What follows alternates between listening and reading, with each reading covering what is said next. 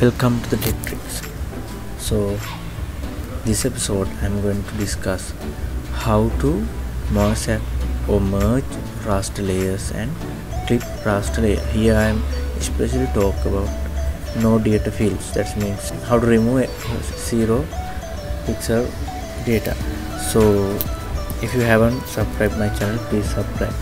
So i have opened four raster layers which are DEMS. Here I have already done the process.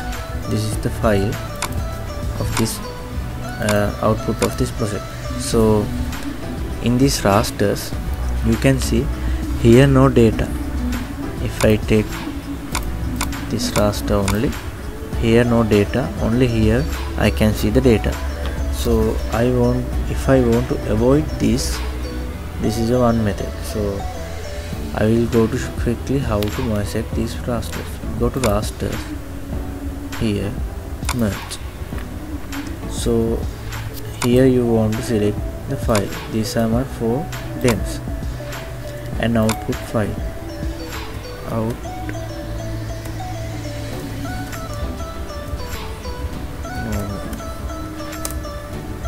So here.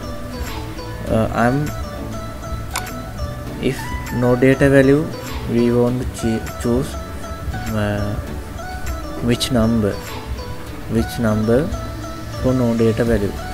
For in this zero mean the pixels which have zero value will be no data value.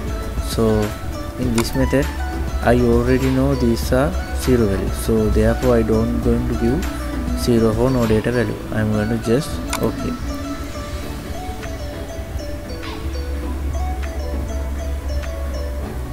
process complete okay okay close. So tick off these rasters here. My output file so you can see that I have got one raster right? Here no data value because I haven't ticked on the no data value. So I will show you now how to clip these rasters go to raster and extraction clipper here you want to choose the raster file. Uh, this time I use this one. And you can here output. Mm.